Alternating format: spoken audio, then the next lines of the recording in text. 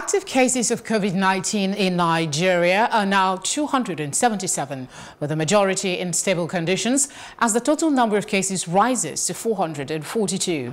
The Nigeria Center for Disease Control NCDC gave the figure on Thursday night. It said that by 10.20 p.m. on April 16, there were 35 new cases of COVID-19 recorded in four states, 19 in Lagos, 9 in the FCT, 5 in Kano, and 2 in Oyo State. According to the agency, 152 patients had been discharged and 13 deaths recorded. The NCDC recommends treatment of every confirmed COVID-19 case in, in isolation center to reduce the risk of spread in communities.